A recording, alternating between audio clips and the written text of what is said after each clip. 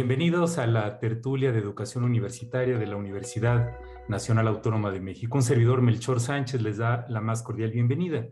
En esta ocasión vamos a platicar sobre un fascinante tema que es la importancia del silencio y de las pausas en la educación universitaria. Para ello contamos con tres invitados. Eh, en primer lugar está el maestro José Rogelio Lozano Sánchez, él es médico cirujano de la Facultad de Medicina de la UNAM maestro en psicopedagogía clínica por la Universidad de León, España, y profesor de embriología, enseñanza y aprendizaje de la medicina, y una asignatura que se llama Felicidad, Reflexiones Filosóficas y Psicológicas, todos estos en la Facultad de Medicina de la UNAM. Bienvenido, Rogelio. Gracias, Melchor, muy amable por tu presentación. Y, también nos acompaña desde Buenos Aires, Argentina, eh, la maestra Rebeca Anijovic, ella es profesora en Ciencias de la Educación y Psicología del Instituto Nacional de Profesorado Joaquín B. González. Es especialista y magíster en formación de formadores de la Universidad de Buenos Aires y actualmente está a cargo de las cátedras de observación y práctica y residencia docente en el Profesorado de Ciencias Jurídicas de la Universidad de Buenos Aires. Es tutora de cursos en línea, de enseñanza para la comprensión de la Escuela de Educación de Harvard y docente invitada en la Universidad de San Andrés. Rebeca, gracias por acompañarnos. Gracias por la invitación. Y por último, desde, desde Chile, desde Copiapo, Chile, el doctor Francisco José Lería Dulcich, de, es doctor en lenguaje y neurociencia cognitiva, también es profesor asociado en la Universidad de Atacama, Chile.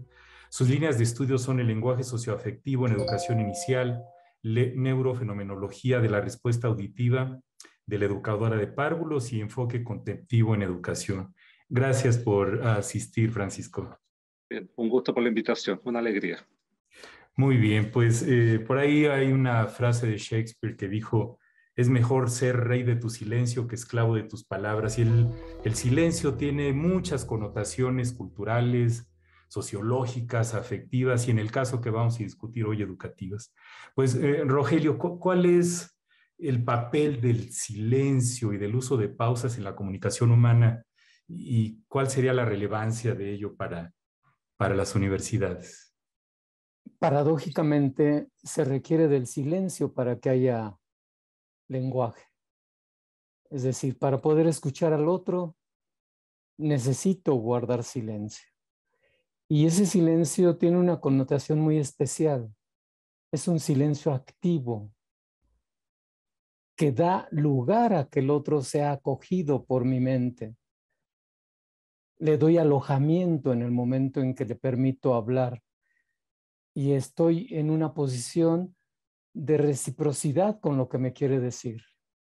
Una de las principales quejas de todos los seres humanos es, yo hablé y no me escuchó.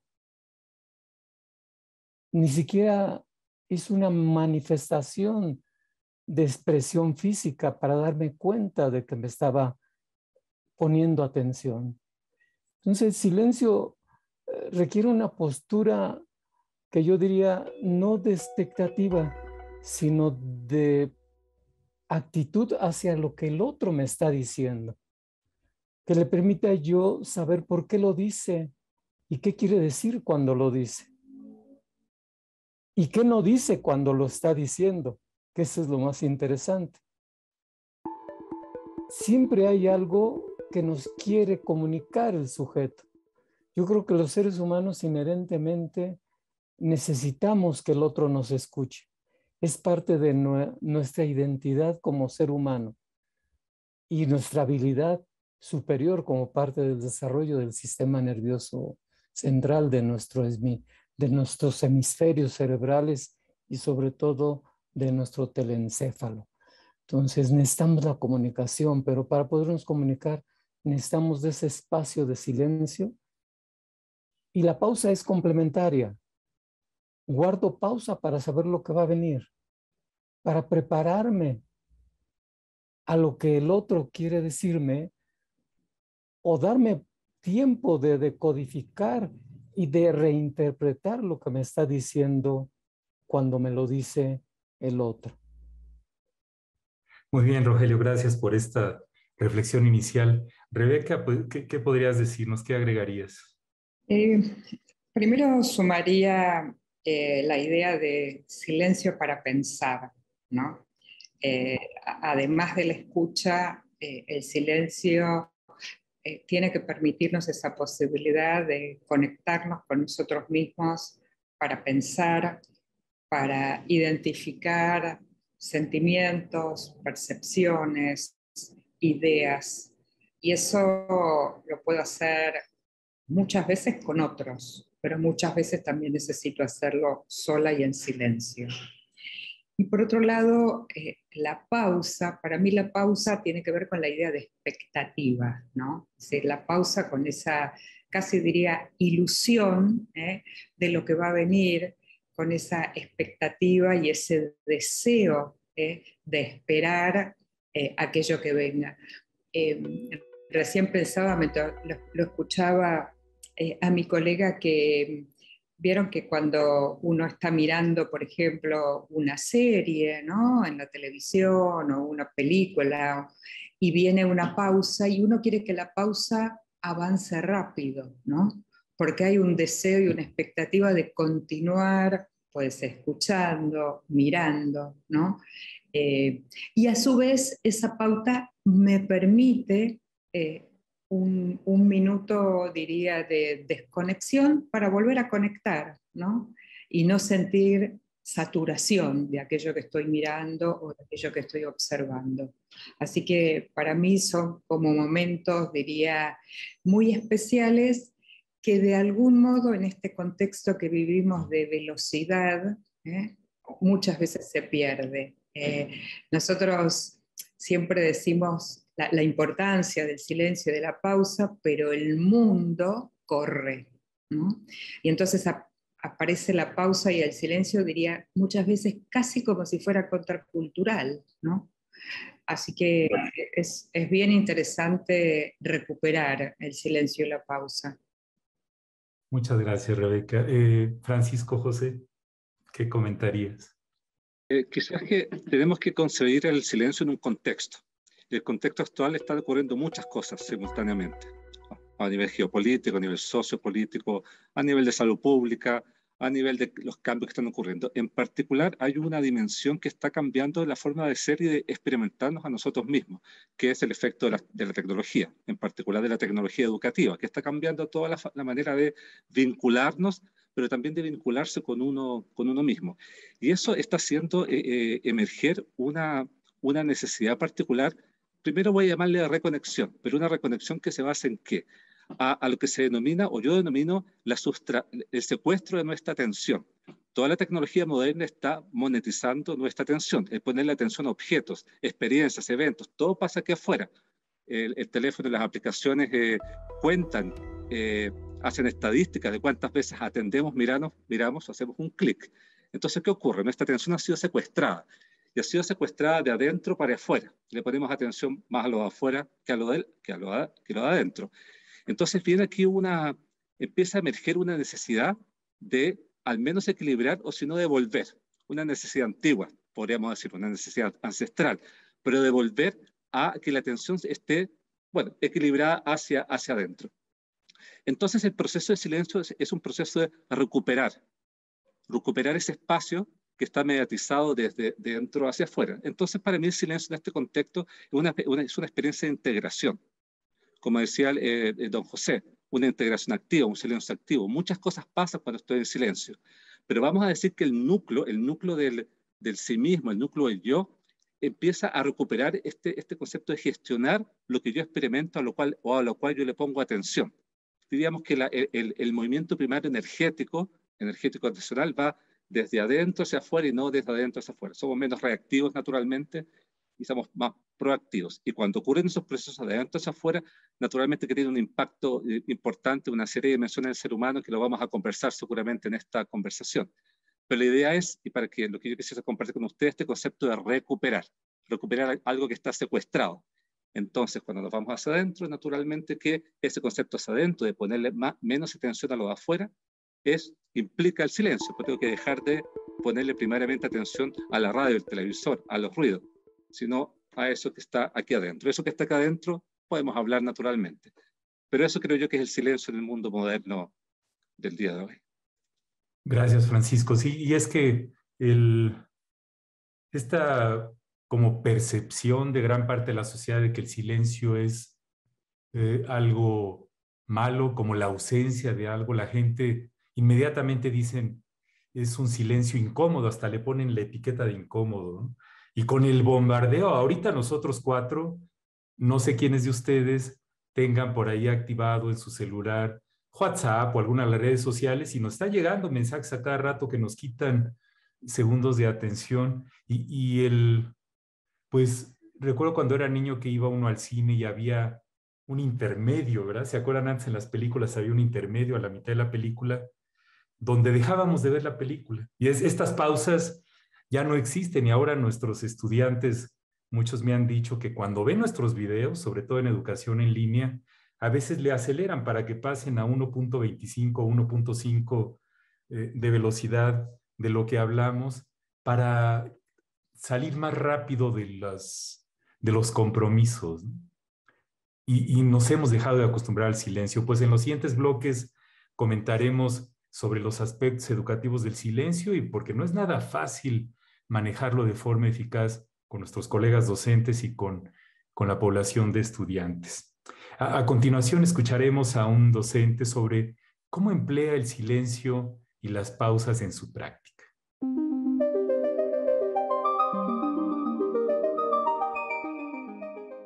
Chicos tienen alguna duda, creo que cuando empiezas con la pregunta, eh, se dan esas pausas y entonces ellos se permiten ese momento de reflexión. Es decir, cualquier tema que yo esté abordando, acabo de exponerle lo que dicen algunos teóricos, lo que yo pienso, y es más, creo que a veces hasta es con el ejemplo porque en algún momento cuando se está impartiendo la clase, cuando estoy yo frente al grupo y estoy platicando con ellos, de repente observan que me quedo en pausa Después de eso, les explico algún ejemplo, algo que pueda ocurrir y entonces empiezan a asimilar estos momentos de pausa como un momento de reflexión, ¿no? Y hasta a veces se los digo, este momento de pausa para mí fue una reflexión de cómo es que les voy a explicar esto o de este ejemplo que de repente me acordé y quería... Eh, focalizarlo bien a, lo que estamos viendo en la clase. Entonces empiezan ellos a asimilar mediante este proceso de imitación que el silencio también puede servir como una herramienta para ordenar las ideas. Y entonces, bajo este tenor, cuando yo ya les pregunto, chicos, ¿qué piensan? Chicos, ¿tienen alguna duda? Se dan ese momento de no hablar, pensar, reflexionar en toda la información que acaban de recibir y entonces a partir de eso ya empiezan a emitir opiniones, ¿no? Y a veces creo que lo difícil es que empiece el primero que levanta la mano y dice, bueno, yo me acordé de esto y a partir de eso se da un diálogo entre ellos con todo lo que han estado reflexionando. Entonces, creo que por un lado sí es con esas preguntas, pero por otro lado también tiene mucho que ver con el ejemplo. Cuando eh, yo me quedo callada, les digo, ah, miren, aquí está el ejemplo o denme dos segundos porque estoy pensando en un ejemplo que sea correcto para esta materia. Y después de ese silencio que empiezo nuevamente a hablar, ellos asimilan esta parte de cómo es que el silencio les puede servir para estructurar sus ideas. Es un momento de reflexión y de asimilación de la información. Eh, creo que muchas veces eh, cuando nosotros en las artes, en la comunicación visual, eh, tenemos que trabajar en un proyecto, recibimos muchísima información del cliente, de las personas eh, a las que realmente se les va a diseñar, que muchas veces creemos que es directamente el cliente, no, y es a las personas con las que trabaja el cliente. Entonces, a veces tenemos tanta información que estos momentos de silencio nos permiten salir de toda esta vorágine informativa que tenemos y decir, un momento, hacia dónde vamos y qué es lo que queremos plasmar. Entonces, esos momentos de silencio en el cual nosotros reflexionamos con toda la información que tenemos y empezamos a generar las estrategias para diseñar son básicas para que nosotros logremos nuestro objetivo, que es comunicar lo que terceras personas no pueden comunicar y que para eso nos contratan. Entonces, creo que el silencio como un proceso reflexivo en la ejecución del diseño es muy importante para generar los discursos correctos al momento de ya tener que estar entregando el proyecto a nuestros clientes, ¿no? Entonces, el silencio a veces tal vez no lo valoramos tanto, ¿no? Y muchas veces se ve que se dice, bueno, es que si estás diseñando siempre con música y todo, pero creo que sí hay un momento en el que tienes que parar todos los estímulos, todos, todos, todos, sentarte y reflexionar en lo que estás haciendo para que puedas sacar el mayor provecho de toda la información que ya recibiste y así generar un diseño correcto.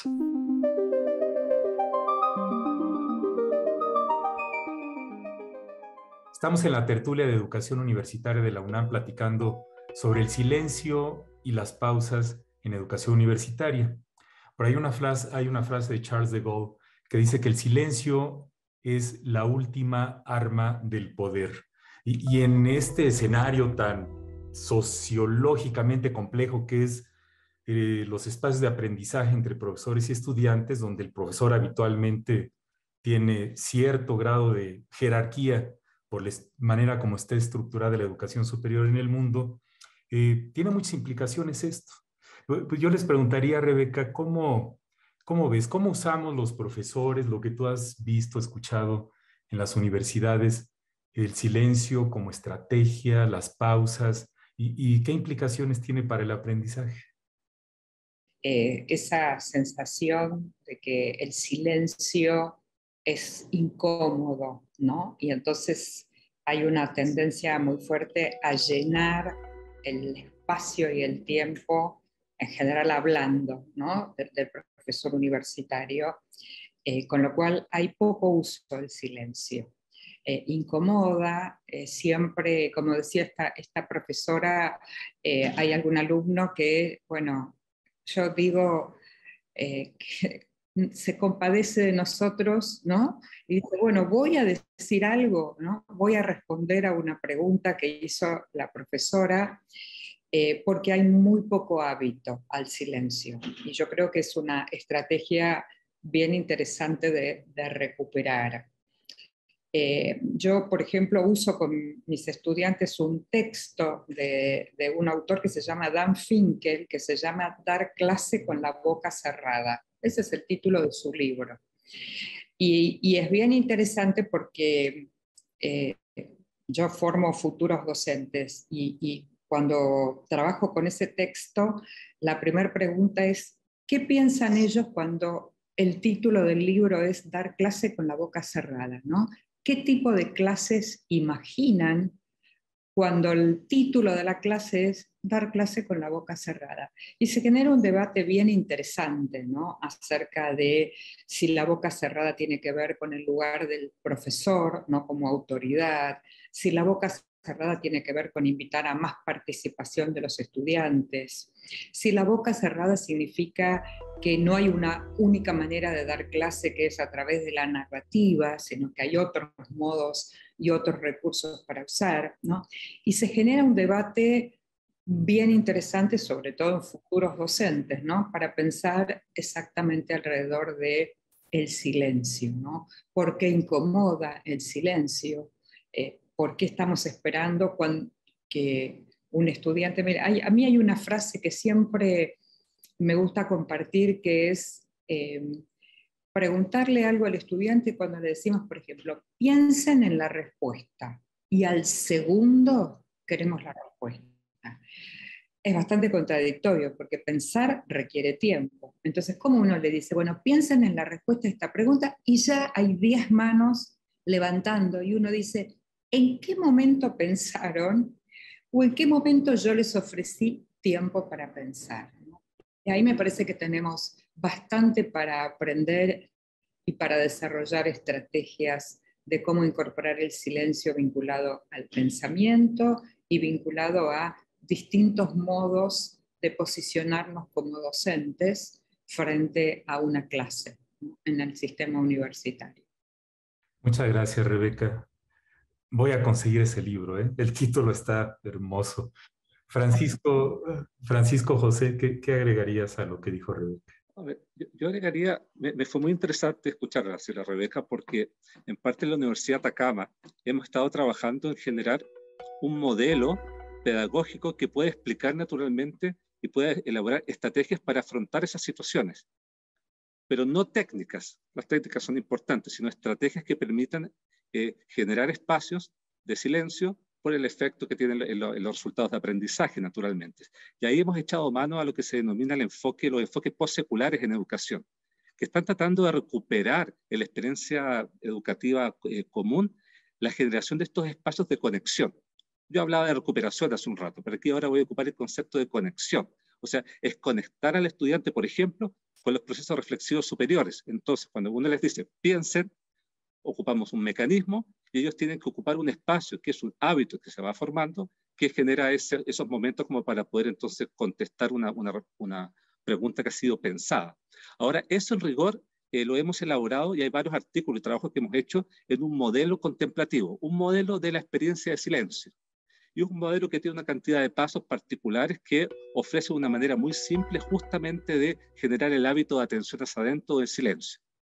Así que eso, en parte es lo que yo veo como una necesidad que se está dando porque el silencio es importante, pero no está bien enraizado y articulado con, los, modelos pedagógicos, los modelos educativos. Entonces se genera un, diagnóstico que es importante, todos lo compartimos más o menos, pero en la realidad hay pocas formas de incorporarlo en, el día a día, no las experiencias extraprogramáticas, en el día a día. Y tenemos experiencias bastante interesantes con las, eh, con las profesionales en prácticas, en prácticas de educación parvularia, la, la, educación de la primera infancia, donde ellas van aprendiendo ciertos modelos para aplicar en ellas mismas, pero aplicarlo con los niños pequeñitos, con los párvulos. Y ha tenido bastante éxito. Yo tengo, un, tengo una visión positiva de que sí se puede elaborar un modelo que enseñe cómo tener la experiencia de silencio en el contexto educativo. Muy bien, Francisco, muchas gracias. Qué interesante. Rogelio, ¿qué nos dices? Pues coincido con la cita que nos diste en este bloque. La relación aprender y enseñar es una relación de poder, en donde uno de ellos, de los implicados, asume el estatuto del saber. Y al asumir ese estatuto del saber, quiere que el otro lo incorpore a su simbolismo y a su imaginería. Sin embargo, eh, esto lo, percibí durante muchos años que me dediqué a la formación de profesores. Y es muy interesante ver que la principal queja o la principal, diría yo, mm, situación que viven los profesores es, no me alcanza el tiempo para dar todo lo que necesito dar. Y los otros no me escuchan, refiriéndose a los estudiantes. No saben escuchar. Y cuando les da uno el habla, no saben hablar. Pero aquí yo me preguntaría, ¿a quién de nosotros nos enseñaron a escuchar? No nos formaron en eso. ¿A quién de nosotros nos enseñaron tanto en... Eh, el ejemplo ahorita muy fuerte es la educación en línea. Aquí nos enseñaron de nosotros a dar esta educación en línea. En esta situación de pandemia, Tuvimos que aprender a la velocidad de ya. Y el otro también está aprendiendo. Entonces aquí la relación de poder en querer dar un mensaje y que el otro lo asimile requiere de esas pausas y de ese espacio de silencio que permita reflexionar tanto al docente como al alumno de cómo está haciendo para incorporar. Por eso yo mencionaba en, mi, en el nivel anterior que había que dar la oportunidad de alojar al otro en su lenguaje, de lo que me dice y qué me está diciendo cuando me lo está diciendo. Muchos de los alumnos yo creo que también es una queja de ellos. Eh, el profesor habla mucho y se me queda muy poco, porque hay un montón de palabras que no logro comprender y él supone que yo las estoy comprendiendo. Entonces este también es un reto, pero gigantesco y que nos hace un distanciamiento entre el que escucha y el que habla. Y si no damos esa pausa, como Rebeca lo decía hace unos segundos, si no damos la pauta, la pausa para que el otro reflexione y tenga una posibilidad de reinterpretar lo que el profesor le está diciendo, estamos en una situación bastante compleja. Así es. Recuerdo una vez una, amiga socióloga eh, me vio dando clase en una actividad de formación docente y, me dijo, hablas demasiado. Entonces, pero uno no se da cuenta, si no te dan realimentación, si no haces algún ejercicio de que te filmen o te graben cuando das clase, o, si en nuestros, eh, si en el currículo mismo de todas las profesiones no está incluido las habilidades, incluidas las habilidades de comunicación, que, que habitualmente las centramos en la comunicación oral, y cuando decimos eso es en hablar, eh, pero ahí también el silencio, las pausas forman parte, parte del reto. Uno de mis profesores, cuando quería que nos calláramos todos en clase, hacía un silencio muy prolongado que de repente empezaba a pesar y era este, en lugar de dar un manotazo en el escritorio, hacía que todos nos calláramos generando un silencio fuerte como muestra de su poder. Eh, como hemos visto en la literatura, el uso apropiado de las pausas y el silencio promueve metacognición, como ya dijeron ustedes, promueve la reflexión, mejora el aprendizaje. Y, en esta obsesión que estamos los docentes a veces entre la espada y la espada, porque queremos hacer muchas cosas, pero tenemos asignada de 9 a 10 de la mañana la clase en el aula y a las 10 me tengo que salir porque viene la otra clase. Entonces, eh, eh, en este enorme presión que tenemos por cubrir el currículo, el plan de estudios, eh, no nos alcanza el tiempo. Muchísimas gracias por sus comentarios y sus reflexiones. A, a continuación, vamos a pasar precisamente a una pausa. y en esta ocasión felicitamos al Sistema de Universidad Abierta y Educación a Distancia de la UNAM, ya que cumple 50 años en este año 2022 les deseamos muchos más años llenos de éxito y de desafíos en este complejo, en este complejo mundo. Entonces, a continuación, una pausa.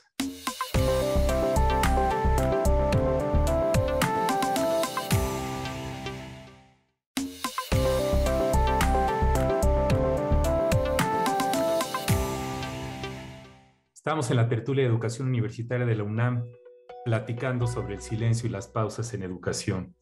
Eh, el silencio a veces es castigado socialmente. Los que somos introvertidos, yo recuerdo toda mi infancia y adolescencia me decían, ¿por qué eres tan callado? ¿Por qué no hablas? Y en cualquier interacción social en un grupo de personas, las personas que hablamos menos estamos en desventaja e inclusive hay por ahí algo que se nos dice mucho en la formación de profesores, desarrolla la plática del elevador. Si tuvieras un viaje en elevador con el presidente de tu universidad, ¿qué le dirías? ¿Qué le pedirías? Entonces, hay todo un reto. ¿Cómo, eh, Francisco José, cómo, podemos los profesores y también los estudiantes y las autoridades mismas universitarias, académicas y administrativas propiciar que este desequilibrio tan fuerte que vivimos en términos comunicacionales mejore?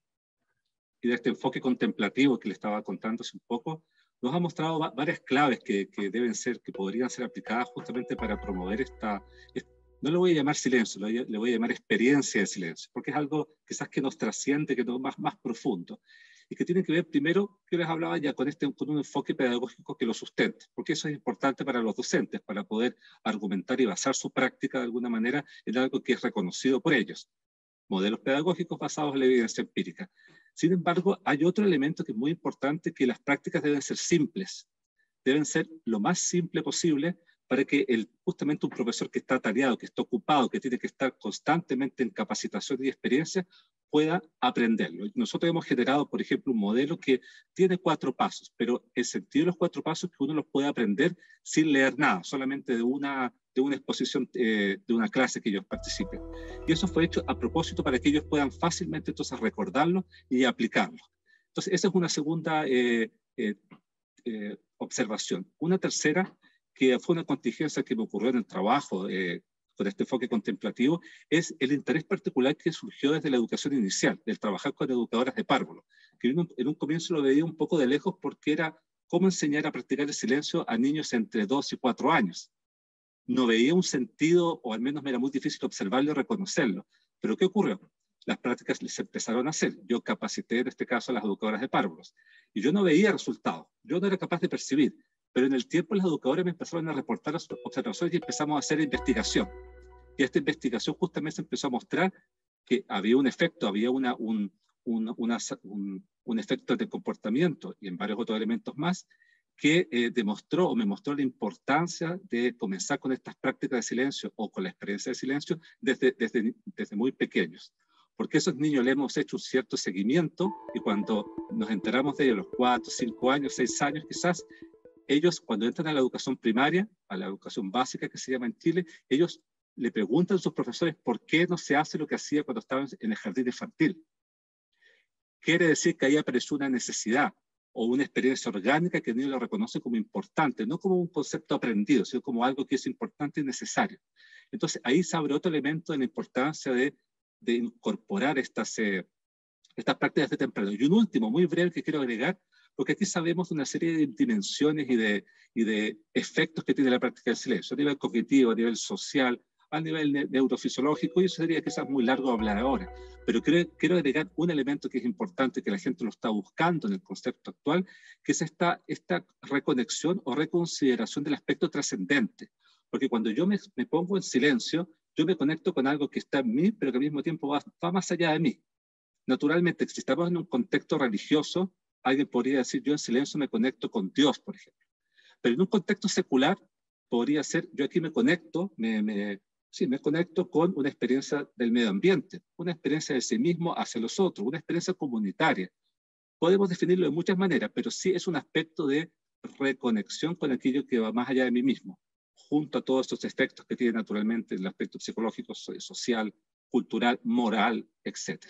Así que esas son observaciones que yo he hecho y que creo que son buenos elementos a considerar por los profesores, docentes que quisiesen incorporar estas prácticas de silencio y que no, que no mueran en el intento.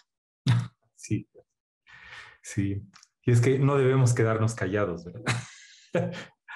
Rogelio, algunas sugerencias, estrategias, ¿cómo ves? Aunque es muy necesario el silencio para poder darle pauta al otro. Es una pregunta yo diría, muy difícil para las universidades. Lo ideal, a lo mejor haciendo una metáfora con eh, poner un anuncio publicitario y decir, quiero al mejor profesor que no solo dé información, sino que sepa usar habilidades de comunicación que se fundamenten en la sensibilidad de escuchar al otro, de darle este espacio de saber qué le está pasando, con lo que está aprendiendo, con lo que se está retando como sujeto que va a enfrentarse a una realidad. Y al principio decíamos, no hay silencio ni en la vida cotidiana. Estamos bombardeados de ruidos y de información a cada momento. En las universidades está ocurriendo lo mismo. Estamos bombardeados de cantidad de contenido académico, en los programas de cada asignatura. Y el profesor está luchando constantemente por ganarle al tiempo y lograr terminar su programa. Se debe de aprender o se debe de enseñar para la vida, no para resolver exámenes. Y entonces esto implica un enfoque de cambio de modelo educativo y que ya se ha mencionado muchísimas veces, desde centrar la atención en el alumno desde acompañar eh, eh, su proceso de aprendizaje y sacarlo adelante a través de esa posibilidad de observar en el silencio lo que le está pasando al sujeto que está en formación. Esto implica, no sé si sea solamente la formación docente o la formación eh, de tipo presencial o como le llaman en la práctica, eh, ir a las aulas con los profesores, hacer eh, acciones que entren al aspecto de lo que es etnográfico para poderle a través del ejemplo demostrar que se puede usar las pautas y el silencio, que es hartamente difícil, pero no imposible. Así es, muchas gracias, Rogelio. Eh, Rebeca, tus comentarios. Eh, yo creo que hay, varias estrategias. Tú has mencionado una em, que es la filmación, cuando te han filmado eh, a ti una clase. Y eh, hace muchísimos años una estrategia que se usaba muchísimo en la formación, sobre todo en la formación docente, pero no exclusivamente, era lo que se llamaba micro-teaching, ¿no? que era filmar 10 minutos a, una persona que tenía que comunicar algo, un instructor, un profesor, hacerle observar ese, ese video y eh, trabajar para que corrija supuestamente una microhabilidad, como podía ser utilizar el pizarrón, dialogar con los estudiantes.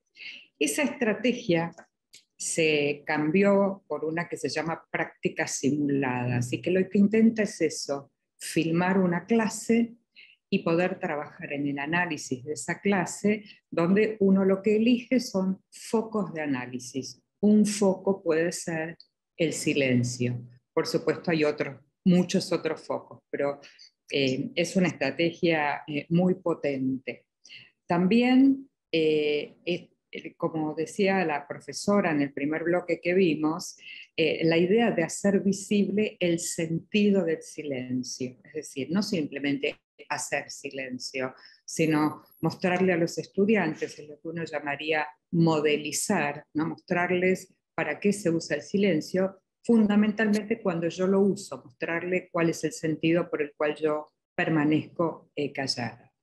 Y una tercera estrategia para mí tiene que ver con revisar todas las creencias e ideas previas que hay alrededor del silencio.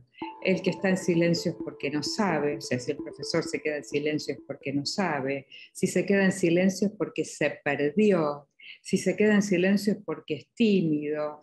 Eh, uno diría, la mala prensa que tiene de alguna manera en las creencias de las personas el silencio y que me parece valioso esa conversación, ese diálogo con los docentes para entender todas las connotaciones del silencio. Solo para, ejemplificar, uno recuerda eh, hace muchos años, por ejemplo, en la escuela primaria, en la escuela parvularia, que eh, la buena conducta era cuando el director pasaba por las aulas y todos los niños estaban en silencio. Cuando el director pasaba y los niños estaban hablando, supuestamente haciendo ruido, en general ese maestro después era evaluado mal ¿eh? porque su clase no estaba en silencio y en orden. Y esas son vivencias que muchos de nosotros hemos tenido en nuestra infancia, en nuestra adolescencia. Entonces me parece que también recuperar el sentido que para nosotros en nuestra biografía escolar tiene el silencio para sacar toda esa connotación negativa asociada al silencio. Entonces creo que ahí hay tres estrategias potentes con las cuales podríamos formar docentes, comunicadores, formadores, etc.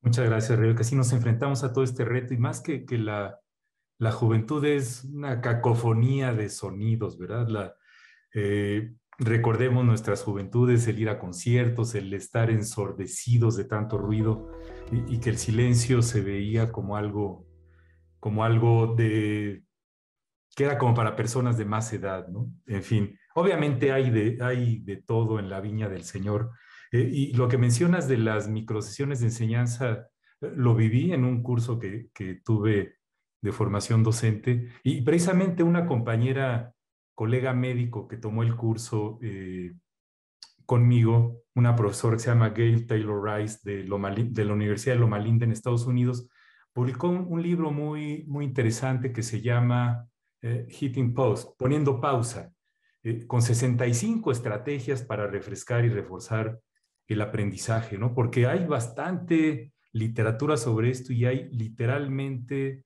cientos de tips, de recursos para tratar de hacer esto.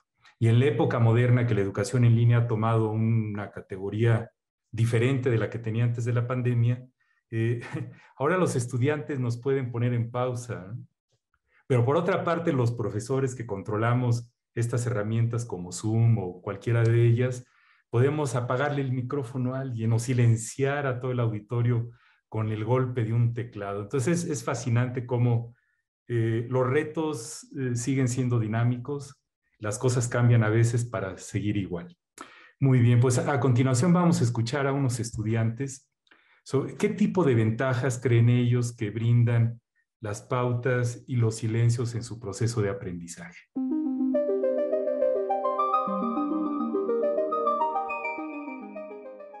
Creo que tiene una función el, descanso, las pausas, un poco diferente. Para como lo he visto, creo que a la hora de estar aprendiendo teoría, eh, es muchísimo más fundamental esa parte de descansar y alejarte un poco de lo que estás aprendiendo, en el sentido de que así puedes como interiorizar el conocimiento y realmente aplicarlo a lo que necesitas.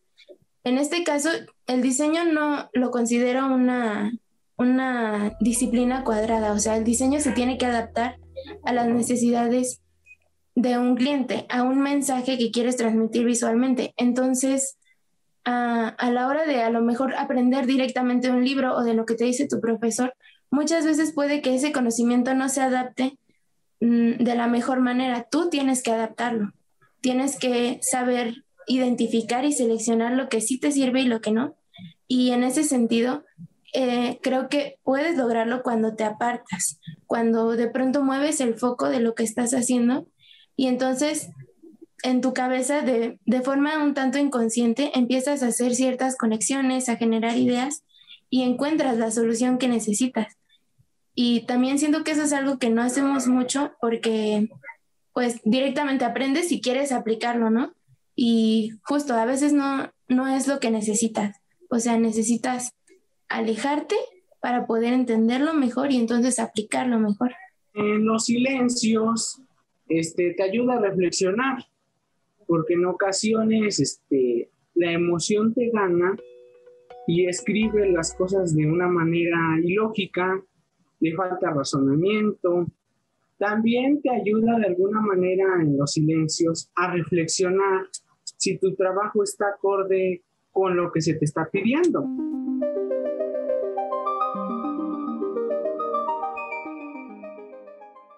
Estamos en la tertulia de educación universitaria de la UNAM platicando sobre el silencio y la educación universitaria.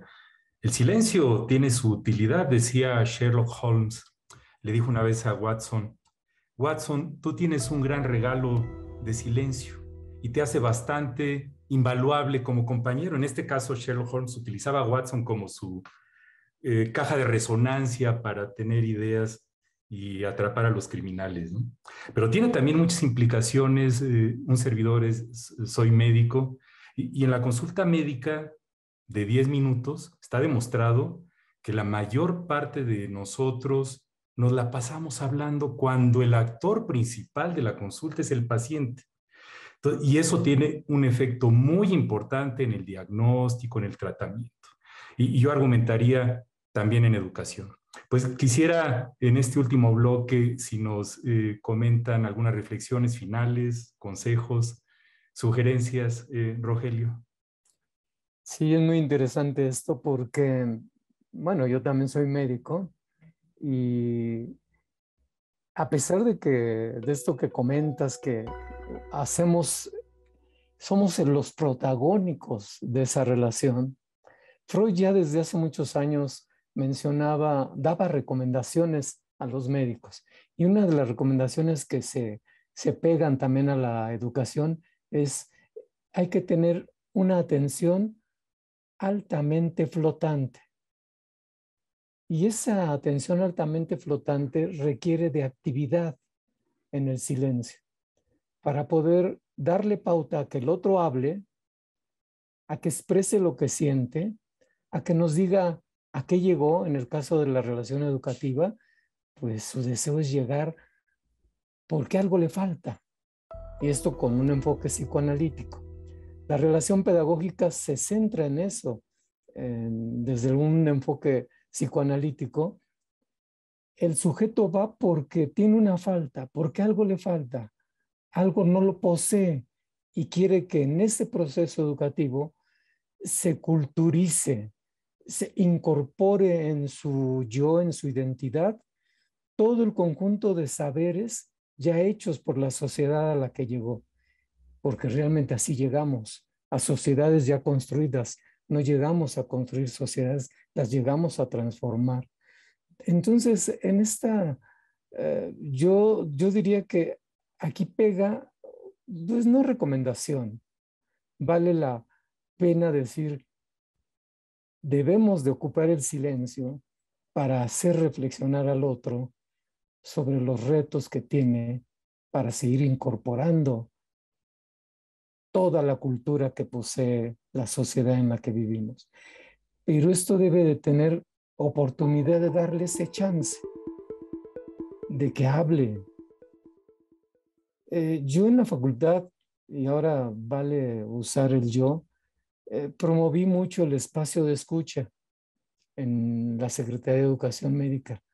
Y el gran reto con el que me enfrenté en ese espacio de escucha es que el alumno creía que yo le iba a dar orientación psicopedagógica clásica, en donde le dijera cómo estudiar, cómo preparar sus tareas, cómo ordenar sus apuntes.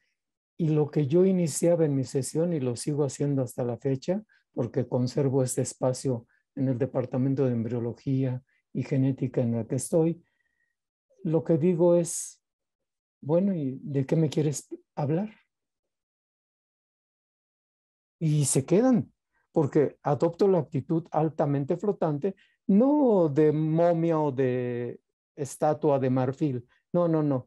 Sí tengo expresiones, tengo movimientos corporales, pero la pregunta clave es esa. ¿Qué me vienes a decir? ¿De qué quieres que platica, que platiquemos? Empieza. Y este reto de empieza, yo creo que les provoca escalofrío y guardo silencio. Me quedo callado hasta que después de varios minutos, porque cuesta trabajo en una primera sesión, él se atreve a decir, es que no tengo lugar para, para estudiar. Y resulta que ese lugar no es algo físico, sino ese lugar, a través de diferentes sesiones, se percata uno que esa falta de espacio no era un espacio físico, sino en un espacio de relaciones humanas, en donde, en donde se encontraba, estoy hablando de un ejemplo que viví, en donde se encontraba inmerso, tenía un padre alcohólico, una madre eh, que estaba a punto de separarse del padre, y estos conflictos le provocaban falta de espacio para dedicarle toda su atención y todo su esfuerzo mental al proceso educativo. Yo creo que aquí una reflexión final que yo haría es reconocernos como docentes, reconocernos con todas nuestras fallas, reconocernos con todos nuestros actos sociales y todas nuestras creencias, porque decimos lo que sabemos, pero realmente enseñamos lo que somos. Ese es un gran efecto que tenemos como docentes y es el uso del poder. Y si lo podemos hacer adecuadamente ese uso del poder, damos pauta para que el otro pueda expresarse, pueda saber que no basta solamente con imitarme, pero para ello necesita reflexionar sobre lo que está aprendiendo. Gracias, Rogelio. Muy bien, pues Rebeca, eh, ¿alguna reflexión final? Sí, tres ideas, digamos, eh, en función de todo lo que conversamos y por supuesto mucho más ligada en mi caso a la formación docente. No soy médica, soy solo paciente de médicos. Eh, y mm, la primera diría revisar la relación entre el silencio y el tiempo eh, en varios momentos de la conversación apareció esta idea de que eh, si no me apuro y no hablo todo el tiempo, no termino mi clase, no termino el programa. Y a mí me parece que esa es una idea que hay que desarmar, que hay que desandar, porque yo siempre en broma digo, miren, si hablo muy rapidito en la clase, puedo dar muchos contenidos. La pregunta es qué aprende el estudiante. Entonces, eh, nosotros no podemos luchar contra el tiempo. Es al revés. La pregunta es, en el tiempo que tengo, ¿qué es lo más valioso que tengo para enseñar? y cómo lo voy a enseñar. Entonces, eh, la primera es revisar la relación entre el silencio y el tiempo. Eh, la segunda es eh, tomar la idea de el silencio vinculada a la escucha activa, ¿no? Un poco lo que recién planteaba el profesor, esta idea de el silencio no simplemente vinculado a, pensar o a que necesitamos internalizar contenidos, el, mostrar el silencio vinculado a la necesidad mía de escuchar atentamente a los estudiantes. Eh, no siempre puedo hacerlo de manera individual.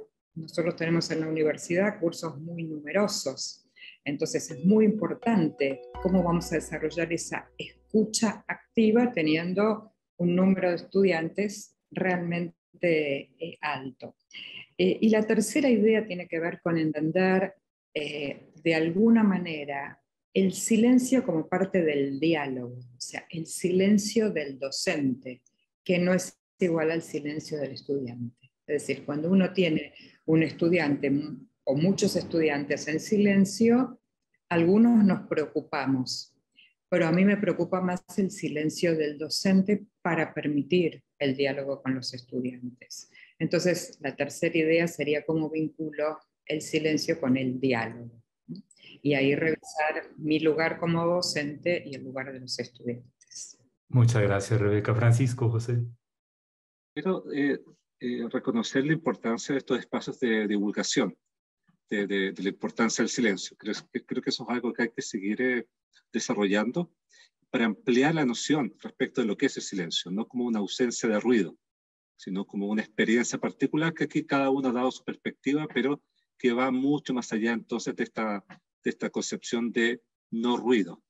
Y se lo voy a dar un ejemplo, eh, un poco recordando este concepto de, la primera parte del programa, de la emergencia de una necesidad, una necesidad que yo lo considero que es orgánica y de pronto psicoevolutiva, una necesidad del individuo y por lo tanto del estudiante. En las prácticas eh, contemplativas que, hemos realizado durante varios años con los niños pequeños en párvulos, ocurría algo muy particular, que lo quiero contar brevemente. La educadora de párvulos aprendió una metodología, la aplica, después de un mes se instaura el hábito y los niños lo, lo, lo, practican gusto. Y al final de la, experiencia, cuando los niños han salido de este estado relativo de silencio, porque a veces dura muy poquito, a veces dura hasta tres minutos ha durado, pero en general es poquito tiempo, la educadora algunas veces les dice, ahora cada uno va a hacer lo que quiera o sienta que quiere hacer. La instrucción era algo así. Y ocurría algo muy particular, que los que estábamos ahí parados mirando, observando las prácticas, el niño se paraba y venía a dar un abrazo. Y eso que puede parecer, ya, qué bonito, qué, pero, pero ahí hay una observación, porque no recibieron la instrucción de dar un abrazo, sino de hacer lo que quieran hacer. Y también ocurría en la, educación básica, hasta el segundo, tercero básico, me ocurrió que los niños se paraban y venían a darle un abrazo a uno o al profesor, porque uno era un desconocido en el contexto, naturalmente, mucho más al profesor. Entonces es una observación de decir, bueno, aquí, aquí con la experiencia de silencio emergen una serie de comportamientos humanos. Aquí quiero ser un poco más quizá riguroso en el lenguaje o, más científico, pero la idea es poder eh, observar que aquí ocurren varias cosas, que no están en el dominio solamente de lo conductual, ni siquiera de lo cognitivo, sino obviamente lo socioafectivo y este elemento espiritual o trascendente. Así que es una observación que yo creo que hay que considerar. Y ahora, para finalizar, ese quizás invitar a la comunidad educativa, a la Universidad de México y a todos los interesados en hacer redes de conexión para hacer investigación. Investigación que podamos entonces demostrar los efectos, pero al mismo tiempo ampliar este, esta noción de qué es lo que es el silencio. Fundamento empírico, divulgación y experiencias compartidas. Yo creo que se pueden dar varios pasos adelante porque mi diagnóstico es de que hay una necesidad que se va a ir configurando y que va a emerger con fuerza cuando pase todo esto de la pandemia y cuando volvamos a resituar en un nuevo contexto. Va a haber mucha crisis, mucho, mucha complejidad, sobre todo en los jóvenes. ¿Qué vamos a hacer con ellos? ¿Ofrecerles aparatos aquí en la cabeza para que se pongan y vean realidades virtuales? ¿O vamos a ofrecerles una, un equilibrio con lo que viene, pero con aquello hacia adentro? Así que invito a la comunidad de la universidad para que para que hagamos trabajos en conjunto. Muchísimas gracias, Francisco. Bueno, pues ha sido fascinante escucharlos. Les agradezco muchísimo. El tema da, da para mucho. Eh, Rogelio, muchas gracias por acompañarnos. No, gracias a ti por invitarnos. Rebeca, saludos hasta allá, hasta Argentina, gracias. No, gracias, un placer haber compartido esta conversación que no, no es tan frecuente el tema, así que buenísimo. Y Francisco José, pues muchísimas gracias y transmitiré tu inquietud a los colegas que exploren esta temática en nuestra institución. Muchas gracias y feliz por haber participado en esta conversación. Muy bien, pues con esto eh, terminamos el programa. Quisiera cerrar con una frase de Jorge Luis Borges que dice, no hables a menos que puedas mejorar tu silencio.